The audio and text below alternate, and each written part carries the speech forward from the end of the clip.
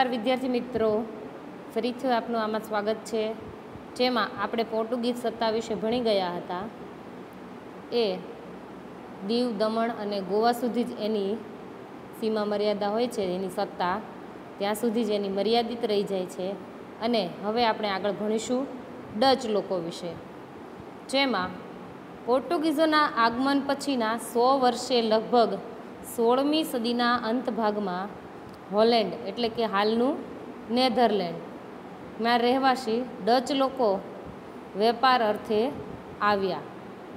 એટલે કે પોર્ટુગીઝ છે, એ લોકો છે, એનું આગમન થઈ જાય છે, એના સો વર્ષ વર્ષે લગભગ સોળમી સદી. કઈ સદી? તો કે સોળમી સદીના અંત ભાગમાં હોલેન્ડના રહેવાસી જે જે લોકોનું મૂળ ગામ છે હોલેન્ડ, ડચ લોકો છે એનું. એ લોકો વેપાર અર્થે આવે છે, બરાબર? ક્યાં? તો કે ભારતમાં. સૌ પ્રથમ પુલકીટ અને મદ્રાસ, એટલે કે હાલનું ચેન્નઈ, પુલકીટ અને મદ્રાસમાં તેમણે કોઠીઓ સ્થાપી. આ બે શહેર છે, એમાં એ લોકો કોઠીઓ સ્થાપે છે. પછી જોઈએ કે ઈસવીસન સોળસો ને ત્રેસઠમાં આગ્રામાં પણ તેમણે કોઠીઓ સ્થાપી. પુલકીટ અને મદ્રાસમાં પણ કોઠી સ્થાપે અને સોળસો ને ત્રેસઠમાં આગ્રામાં કોઠી સ્થાપે છે, બરાબર? તે દરમિયાન અંગ્રેજો પણ ભારતમાં આવી પહોંચ્યા. ડચ લોકો અંગ્રેજો સામે સ્પર્ધામાં ટકી શક્યા નહીં. બરાબર? તો જે આ પોર્ટુગીઝ હતા, એ લોકોનો અંત થઈ જાય. પછી ડચ લોકો આવે છે વેપાર અર્થે બરાબર? એ લોકો અલગ બે, ત્રણ રાજ્ય શહેરો એટલે કે રાજ્ય શહેર જે ગણે એમાં કોઠીઓ સ્થાપે છે. આ ત્રણ શહેર બતાવ્યા એ પ્રમાણે. અને એ દરમિયાન જ અંગ્રેજો પણ ભારતમાં આવી પહોંચે છે. પછી ડચ લોકો વેપાર કરતા હોય એમાં અંગ્રેજો આવી પહોંચે છે તો ડચ લોકો કાંઈ સ્પર્ધામાં ટકી શકતા નથી કારણ કે અંગ્રેજોનો બળવો એટલો બધો હોય છે. તો ચલો એમાં આગળ જોઈએ. ભારત પર અંગ્રેજોની નજર. એટલે કે ભારત ઉપર અંગ્રેજોની પૂરેપૂરી નજર હોય છે. તો એમાં જોઈએ કે ઈસવીસન સોળસોમાં ઇંગ્લેન્ડની રાણી ઇલિઝાબેથના સમયમાં બ્રિટિશ ઈસ્ટ ઇન્ડિયા કંપનીની સ્થાપના થઈ. તો આપણે યાદ રાખીશું કે ઈસવીસન સોળસોમાં ઇંગ્લેન્ડની રાણી ઇલિઝાબેથના સમયમાં ઈસ્ટ ઇન્ડિયા કંપનીની સ્થાપના કરવામાં આવે છે. તો આ કંપની એક સ્થાપે છે અને જે સ્થાપનાર છે એ કોણ છે? તો કે રાણી ઇલિઝાબેથના સમયમાં બ્રિટિશ ઈસ્ટ ઇન્ડિયા કંપનીની સ્થાપના કરે છે. હિન્દુસ્તાન સાથે વેપાર કરી ધનવાન થવાની ઈચ્છા રાખનાર વેપારીઓની આ કંપની હતી. એટલે કે હિન્દુસ્તાન સાથે, એટલે કે ભારત સાથે વેપાર કરી પૈસા વધારે કમાવાની ઈચ્છા રાખનાર વેપારીઓ આ કંપની સ્થાપના કરવામાં આવી હતી. ઈસવીસન સોળસો ને આઠમાં પહેલું અંગ્રેજી વહાણ હિન્દુસ્તાનના સુરત બંદરે પહોંચ્યું. જો યાદ જોજો, સુરતમાં આવે સૌથી પ્રથમ વહાણ છે એ આવે છે. તો કે કઈ સાલમાં? તો કે ઈસવીસન સોળસો ને આઠમાં. હિન્દુસ્તાનની ધરતી પર પગ મૂકનાર પ્રથમ અંગ્રેજ હોકિન્સ. આ વહાણનો કપ્તાન હતો. એટલે કે આપણે હિન્દુસ્તાન છે એની ધરતી ઉપર, એટલે કે સુરતમાં આવે છે. એમાં સૌથી પહેલાં અંગ્રેજ હતો. એ પ, આપણે અહીંયા આવ્યો હોય સુરતમાં, તો એ સૌ પ્રથમ પગ પગ મૂકીને જ નીચે ઉતરવાનો ને કાંઈ આમનામ તો ઉતરીને જ જવાનો એમ. તો એમાં એવું લખ્યું છે કે ધરતી ઉપર પગ મૂકનાર પ્રથમ અંગ્રેજ હોકિન્સ હતો. આ વહાણનો કેપ્ટન હતો જે જહાંગીરને મળ્યો, પરંતુ પરવાનગી મળી નહીં. ત્યારે આપણે હિન્દુસ્તાનમાં જહાંગીર છે એ રાજા તરીકે હતા, બરાબર? તો એણે જે આ વહાણનો કેપ્ટન છે, એટલે કે અંગ્રેજ હોકિન્સ છે, બરાબર? એ જહાંગીરને મળે છે અને એણે વેપાર કરવાની પરવાનગી આપતા નથી. ત્યારબાદ આવનાર સર ટોમ્સ રોયે જહાંગીર પાસેથી સુરતમાં વેપારી કોઠી સ્થાપવાની પરવાનગી લીધી. બરોબર?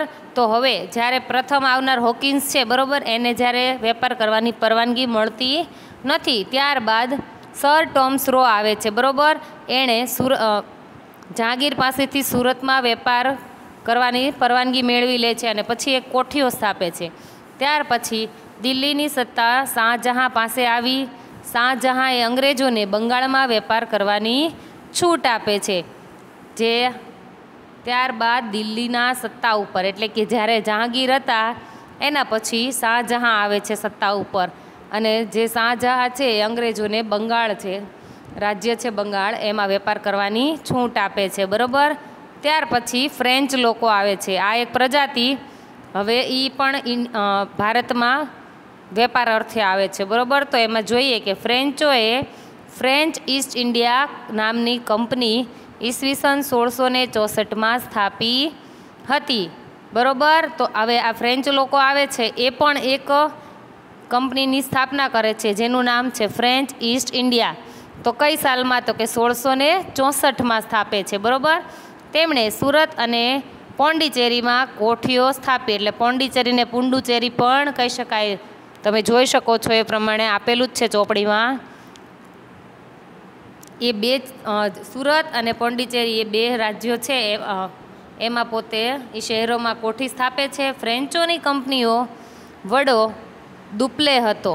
બરોબર? આ ફ્રેન્ચ કંપનીનો જે નામ છે જેને સ્થાપના કરનાર, એટલે કે વડો, એટલે કે મુખ્ય, એ પોતાનું એનું નામ હતું દુપ્લે, જેને ભારતમાં યુરોપિયન સત્તા વિસ્તાર કરવાની ઈચ્છા હતી એટલે કે ભારતમાં યુરોપિયન સત્તા, એટલે કે યુરોપિયનના જે માણસો હતા, એને જે પોતાના એ એના જે બધા સત્તા એટલે કે પોતે એક પોતાના જે રાજ્યના બધા માણસો હોય એને આપણા ભારતમાં લાવીને રાખવાના, એટલે કે એને સત્તા સ્થાપવાની ઈચ્છા હતી.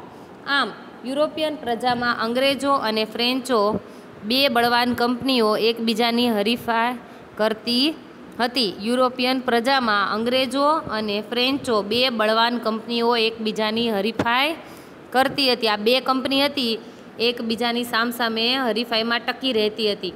પણ આમ ઘણી બધી તકરારો અને લડાઈઓ થઈ, બરાબર? આ બે કંપની હવે માર્કેટમાં હોય અને એ બંનેમાં વસ્તુની કોઈ પણ બે કંપની છે, એક આપણે દાખલા તરીકે લઈએ તો એક કોલગેટ છે અને એક આપણે આપણી ઇન્ડિયાની લઈએ બબુલ છે, બરોબર? તો એ બે કોણ કઈ વસ્તુ છે, એની કઈ રીતે લોકોમાં માંગ ઊભી થાય છે, એની ઉપર કે હરીફાઈમાં કોણ વધારે ટકી રહે છે અને કોણ ઓછું ટકી રહે છે અને બધી ઘણી બધી લડાઈઓ અને તકરારો થાય છે, એ રીતે હવે ચોપડીમાં જોઈએ. જેમાં છેવટે અંગ્રેજો સફળ થાય છે, બરોબર? તો જે અંગ્રેજો છે, એ એ પોતાની જે વસ્તુઓ એ પ્રોડક્ટ છે કે ગમે એ વસ્તુ ગણી, એમાં એ લોકો વેચવામાં વધુ સફળ થઈ જાય છે. પરંતુ ફ્રેન્ચો પાસે છેવટે પોંડિચેરી માહે અને ચંદ્રનગર વગેરે થાણા એટલે કે વેપારી મથકો છે, જેનું નામ છે પોંડિચેરી માહે ચંદ્રનગર અને થાણા. આ ચાર વેપારી મથકો છે, એના પૂરતા જ મર્યાદિત રહ્યા છે. હવે આગળ જોઈએ બંગાળમાં અંગ્રેજોનો વેપાર. ઈસવીસન સોળસો એકાવનમાં હુગલી નદીના કાંઠે અંગ્રેજો પહેલવેલો વેપાર કરવાની શરૂઆત કરે છે. પરીક્ષામાં પૂછાઈ શકે કે પહેલવેલો વેપાર કઈ જગ્યાએ અંગ્રેજો શરૂ કરે છે? તો આપણે લખવાનું અને કઈ સાલમાં? તો પૂછીએ. તો આપણે લખવાનું કે ઈસવીસન સોળસો એકાવનમાં હુગલી નદીના કાંઠે અંગ્રેજો પહેલવેલો વેપાર કરવાની શરૂઆત કરી. બરોબર? તો ચલો એમાં જોઈએ. પોતાની કોઠીઓ સ્થાપી. આજુબાજુ કિલ્લાઓ બાંધ્યા એટલે કે પોતે છે વેપાર કરવા માટે કાંઈક કોઠીઓ તો સ્થાપવી પડે, કાંઈ એમને કાંઈ રોડ ઉપર તો વેપાર કરી શકે નહીં. એટલા માટે પોતે કોઠીઓ સ્થાપે છે અને આજુબાજુ કિલ્લાઓ બાંધ્યા છે. પોતાના રક્ષણ માટે સૈનિકો રાખ્યા અને મુગલ બાદશાહ ઔરંગઝેબ પાસેથી વાર્ષિક ખંડણીના બદલામાં કરવેરા આપ્યા વગર વેપાર કરવાની પરવાનગી મેળવી લે છે. બરોબર? તો પોતાના રક્ષણ માટે પોતે સૈનિકો રાખે છે અને મુગલ બાદશાહ ઔરંગઝેબ છે એની પાસેથી વાર્ષિક ખંડણી એટલે કે રકમ, રૂપિયા, એના બદલામાં કરવેરા, આપણે જે ટેક્સ ભરીએ છીએ એને કરવેરા, એ આપ્યા વગર જ વેપાર કરવાની પરવાનગી મેળવી લે છે. તો જો તમને નીચે ચિત્રમાં આપ્યું છે, એક પોઈન્ટ ચાર, અંગ્રેજોના વહાણો અને કોઠીઓ. જો આ નદીનો કાંઠો તમને વહાણો દેખાય છે, એ નદીમાં જ વહાણો ઊભા છે. બરોબર? એ હુગલી નદી છે, એના કાંઠે જ આ વેપાર કરવા બધાય આ વેપારીઓ છે અને અમુક ગ્રાહકો છે, બરાબર? એ તમને ચિત્રમાં બતાવે છે એ રીતે. જો સાઈડમાં એક બાજુ કિલ્લો પણ બતાવે છે. આવા બધા આ રીતે પહેલાં વેપાર કરતા. જો તમને બોક્સ પણ દેખાય છે, જેમાં માલ હોય બધો, સામાન, જે જે લોકોને જરૂરિયાત પૂરતો મળી રહેતી હોય બધી વસ્તુ એ. વિચારો, આપણે વિચારી લઈએ શું? વિચારવામાં શું વાંધો છે આપણને? શું? આજે કોઈ વિદેશી વેપારીઓ ભારતમાં આવો કોઈ વેપાર કરવાની પરવાનગી માગે છે? આપણને એવો વિચાર આવે ને કે શું આજે આ કોઈ વિદેશી કંપની હોય કે વેપારીઓ હોય, બધા ભારતમાં આવે, તો એ લોકો એવું ઈચ્છતા હશે કે આપણે પણ અહીંયા વેપાર કરીએ? એ રીતે. તો જો આ ઉપર પણ ચિત્રમાં આપેલું છે કે વિવિધ સમયે બ્રિટિશ અને સ્થાનિક શાસન, એટલે કે વિવિધ સમયે, એટલે આ સમયગાળો આપેલો છે, એની ઉપરથી જે આ કંપનીઓ છે, બ્રિટિશ અને સ્થાનિક શાસન એ તમને આમાં બતાવે છે કે કઈ જગ્યાએ એ લોકો આમાં આવ્યા છે. જો તમને બતાવ્યું છે એ પ્રમાણે, બ્લુ કલરનું નિશાન છે, બ્રિટિશ શાસનનું છે અને યલો કલરનું છે એ સ્થાનિક શાસનનું છે. આ લોકો બ્રિટિશ શાસન છે, એ લોકો આપણા ઉપર આમાં આવીને એ લોકો વેપાર અર્થે આવતા હોય અને એ લોકોએ આટલા રાજ્યો જીતે છે, એ બધું એ બતાવેલું છે આમાં તમને. ચાલો હવે આગળ જોઈએ. હવે કંપની વધુને વધુ ધન કમાવાની હોડમાં લાગી ચૂકી હતી. બરોબર? એટલે કે આ ઈસ્ટ ઇન્ડિયા કંપની હતી, એ વધુને વધુ પૈસા કમાવામાં, એટલે એમ કાંઈ પણ હોય, વસ્તુ એક થોડુંક આપણને મળે, એટલે આપણને કોઈ પણ હોય ને લાલચ જાગવાની છે.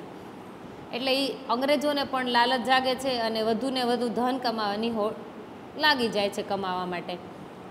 બંગાળમાં કરમુક્ત વેપાર કરવાના ફરમાનમાં ફક્ત કંપનીને જ કરમુક્ત વેપારની છૂટ હતી, એટલે કે બંગાળ છે, એમાં વગર ટેક્સે તમને વેપાર કરવા માટેની છૂટ આપેલી હતી. પરંતુ કંપનીના અધિકારીઓ વ્યક્તિગત વેપાર કરવા તેમાં પણ કર આપતા નહીં. એટલે કે ખાલી કંપનીને જ વેપાર કરવા માટે કર નહોતો આપવો પડતો. પરંતુ વ્યક્તિગત વેપારીઓ, અધિકારીઓ હોય વ્યક્તિગત, એને વેપાર કરવા માટે કર આપવો પડતો. પણ આ લોકો એ પણ કર નહોતા આપતા. જેથી બંગાળની કરવેરાની આવક ઘટી જાય છે. હવે છેવટે કોઈ પણ વ્યક્તિ હોય હવે આપણે જ ખુદ આપણી જ વાત કરીએ કે આપણે અહીંયા રહીએ છીએ, બરાબર? આપણે ભારતમાં. તો આપણે ભારત સરકારને આપણે ટેક્સ ન આપીએ.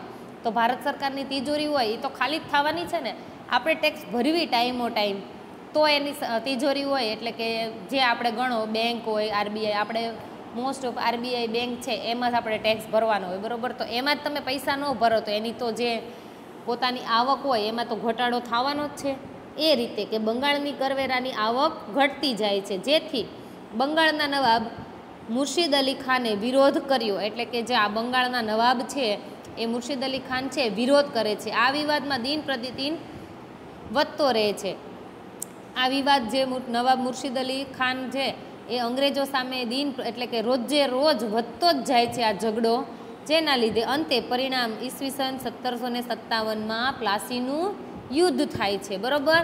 જ્યારે આ અંગ્રેજો કરવેરા ભરતા નથી, ત્યારે આ જે નવાબ છે મુર્શિદ અલી ખાન છે, એ વિરોધ કરે છે કે તમે વેપાર કરો છો તો તમે વેપારનો પૂરેપૂરો કર ભરો, તો જ તમે વેપાર કરી શકશો.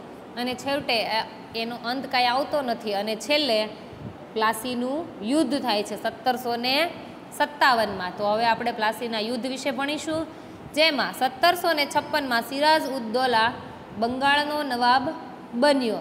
ચલો યાદ રાખજો તમે આમાં સત્તરસો ને છપ્પનમાં સિરાજ ઉદ્દૌલા બંગાળનો નવાબ બને છે, જેની અંગ્રેજો પર ધાક હતી, એટલે કે એક આગવી છાપ હતી કે એનાથી ડરતા હતા અંગ્રેજો એમ જેથી અંગ્રેજો તેને પસંદ કરતા ન હતા, બરાબર? અંગ્રેજો એને પસંદ કરતા નહોતા એને નહોતા ગમતા અંગ્રેજો. સોરી, આ સિરાજ ઉદ્દૌલા છે એ અંગ્રેજોને ગમતા નહોતા. સિરાજ બંગાળનો નવાબ ન રહે તે માટે અંગ્રેજોએ કૂટનીતિ કરી અને સિરાજ ઉદ્દૌલાના હરીફોને મદદ કરી. એટલે કે જો એમાં છે એવું કહે છે કે અંગ્રેજો છે એને હરાવવા માટે એટલે કે જે નવાબ બનેલો છે હવે એને નવાબ રાજા બનેલો છે એને નીચે પાડવા માટે એ લોકો કૂટનીતિ અપનાવે છે. એટલે કે જે એના હરીફમાં એટલે કે એના જે દુશ્મનો હોય એની સાથે લડવા માંગતા હોય એને અંગ્રેજો મદદ કરે છે અને સિરાજુદ્દોલાએ કંપનીને હુકમ કર્યો કે કંપની રાજ્યની બાબતમાં દખલ કરવાનું બંધ કરે. તો સિરાજુદ્દોલા છે. એ અંગ્રેજોની કંપની કઈ હતી? ઈસ્ટ ઇન્ડિયા કંપની હતી. એને હુકમ કરે છે કે તમે રાજ્યની બાબતમાં કાંઈ પણ દખલ નહીં કરો. તમારો બસ તમારે ખાલી વેપાર અર્થે તમારે એ જ કાર્ય કરવાનું રહેશે. બીજું કાંઈ તમારે આમાં બાબતમાં દખલ કરવાનું નહીં. છેવટે આમાં જોઈએ આગળ. કે અંગ્રેજો તેની કોઠીઓની કિલ્લે, કિલ્લેઓ બંધી કરવાનું બંધ કરે અને કાયદેસરનો કર ભરી શરતોનું પાલન કરી વેપાર કરે. જે મેં તમને કીધું એ રીતે કે સિરાજ ઉદ્દોલા છે એ એવું કહે છે કે તમે બસ તમારો કિલ્લો છે, એમાં એને આજુ, શું કહેવાય કોઠીઓ છે વેપાર, એની બાજુ ફરતો કિલ્લો બાંધીને એમાં તમારે બીજા રાજ્યની કોઈ પણ જાતની બાબતમાં દખલ નથી કરવાનું. બસ તમારે ખાલી તમારા વેપારનું જ કાર્ય કરો, બીજું બધું કાંઈ નહીં. તો આ બાબતે બંને પક્ષ સમાધાન માટે તૈયાર ન થયા. એટલે કે આ બાબત જે હતી આ જે ઝઘડાની, કે કોઠીઓ તમારે બાંધી છે તો તમે વેપાર જ કરો, બીજું કાંઈ ન કરો, એ બાબતે એ લોકો સહમત થતા નથી અને સમાધાન આવતું નથી. તેથી નવાબે ત્રીસ હજાર સૈનિકોને સાથે રાખી અંગ્રેજ કોઠીઓ પર હુમલો કરે છે. જે આ ત્રીસ હજાર સૈનિકો રાજાના હતા, એટલે કે સિરાજ ઉદ્દોલાના, એ પોતે ત્રીસ હજાર સૈનિકોને સાથે રાખીને અંગ્રેજોની કોઠીઓ છે, એની ઉપર ચડાઈ કરે છે અને નવાબની ફોજે અંગ્રેજોને બંદીવાન બનાવે છે. નવાબ છે જે સિરાજ ઉદ્દોલા, એ એને પોતાના ફોજ હોય આખી, એને અંગ્રેજોને એટલે કે બંદીવાન, એટલે કે પોતાના કબજામાં કેદ કરે છે. તેના વહાણો ઘેરી લીધા. એટલે કે તેના જે બધા આજુબાજુ જે હુગલી નદીના કાંઠે તે વેપાર કરતા હતા અને ત્યાં વહાણો આવે, બધી વસ્તુઓ લઈને, એ વહાણો છે એને પણ ઘેરી લે છે. અંગ્રેજ સેનાએ રોબોટ ક્લાઇવની આગેવાનીમાં વળતો હુમલો કર્યો. એટલે કે અંગ- અંગ્રેજ સેના એટલે કે રોબર્ટ ક્લાઇવ છે એ પોતે અંગ્રેજી સેનાનો એક મુખ્ય મુખ્યો કહેવાય. એટલે કે જે પોતે છે એની આગેવાનીમાં વળતો હુમલો કરે છે. જે નવાબે ચડાઈ કરી હતી એના ઉપર, અંગ્રેજો ઉપર. ત્યારે હવે આ રોબર્ટ ક્લાઇવ છે એ હુકમ કરે છે અંગ્રેજો સેનાને કે તમે પણ એની ઉપર એક હુમલો કરો. ત્યારે રોબર્ટ ક્લાઇવે સિરાજ ઉદ્દોલાના એક સેનાપતિ મીર જાફર નવાબ બનવાની લાલચ આપી મદદ માગી તેને રાજી કરી લીધો. બરોબર? તો મી રોબર્ટ ક્લાઇવ છે એને સિરાજ ઉદ્દોલાના એક સેનાપતિ, એટલે કે જેની એક જમણો હાથ કે કહેવાતો હોય કે ડાબો હાથ કહેવાતો હોય, એ સેનાપતિ હોય એનું નામ છે મીર જાફર બરોબર? તો એને નવાબ એટલે કે આને તું મારી નાખ. એ ભાઈને તો તને હું નવાબ બનાવું એવી લાલચ આપે છે. કોને? તો કે મીર જાફરને કોણ આપે છે? તો કે રોબર્ટ ક્લાઇવ રોબર્ટ ક્લાઇવ છે એ મીર જાફરને એવી લાલચ આપે છે કે તું જો સર સિરાજ ઉદ્દોલાને તું મારી નાખ, તો હું તને નવાબ બનાવીશ, બરોબર? આવી લાલચ આપે છે અને પ્લાસીના યુદ્ધમાં ક્લાઇવે સિરાજુદ્દોલાને હરાવી દગાથી ખૂન કર્યું છે, બરોબર? આ તમને સિરાજુદ્દોલાનું ચિત્ર બાજુમાં બતાવેલું છે. એ સિરાજુદ્દોલા છે, એને મારવાનો આ રોબર્ટ ક્લાઇવ છે એક કાવતરું ઘડે છે અને એને દગાથી ખૂન કરી રાખે છે. ભારતમાં કંપનીની આ પહેલી લડાઈ હતી. સૌ પ્રથમ ભારતમાં કઈ લડાઈ લડાણી તો આપણે લખવાનું રહેશે કે પ્લાસીનું યુદ્ધ થાય છે, બરાબર? જેમાં ભારતમાં અંગ્રેજોની સત્તા શરૂઆત થવાની હતી. જેમાં ભારતમાં અંગ્રેજોની સત્તાની શરૂઆત થવાની હતી, એટલે કે ભારત ઉપર અંગ્રેજો છે એ સત્તા લેવાના હતા, એટલે કે સત્તા પોતાની જમાવાના હતા. માટે આ લડાઈ ભારતના ઇતિહાસમાં મહત મહત્ત્વની ઘટના ગણાય છે, બરાબર? આ ઇતિહાસમાં સૌથી મોટી અને એવી જો આકર્ષિત બાબત એટલે કે ઘટના છે કે જેને વર્ષોને વર્ષ ભૂલાય નહીં, પણ આ આપણને આવે છે અને આ વર્ષોને વર્ષ યાદ રાખવાની આવે છે. આ બનાવથી ભારતનો ઇતિહાસ બદલાય છે. તો આમાં એવું કીધું છે, આટલું જાણો તો સારું, આપણે આટલું જાણી લઈએ. એમાં એવું લખ્યું છે કે પ્લાસી, શું આપ જાણો છો કે પ્લાસી નામ કેમ પડ્યું? નથી ખબર, આપણને પણ નથી ખબર. તો આપણે આમાં જાણીએ કે શું છે પ્લાસ, પ્લાસી નામ કેવી રીતે પડ્યું હશે? પણ જોઈએ એમાં કે ખરેખર મૂળ નામ પલાશી છે, બરોબર? જે પ્લાસી કહીએ છીએ આપણું, એનું નામ મૂળ છે પલાશી. ત્યાંના, એટલે કે પ્લાસી જે છે, આપણે જે આ લોકો વેપાર અર્થે છે, ત્યાંના, એટલે કે પલાશ, એટલે કે ખાખરાના વૃક્ષો પરથી નામ પડેલ છે. ત્યાંના પલાશના વૃક્ષો, એટલે કે આપણે અહીંયા પલાશ તો ના કહીએ, પણ આપણે ખાખરાના પાનથી વાકેફ છીએ.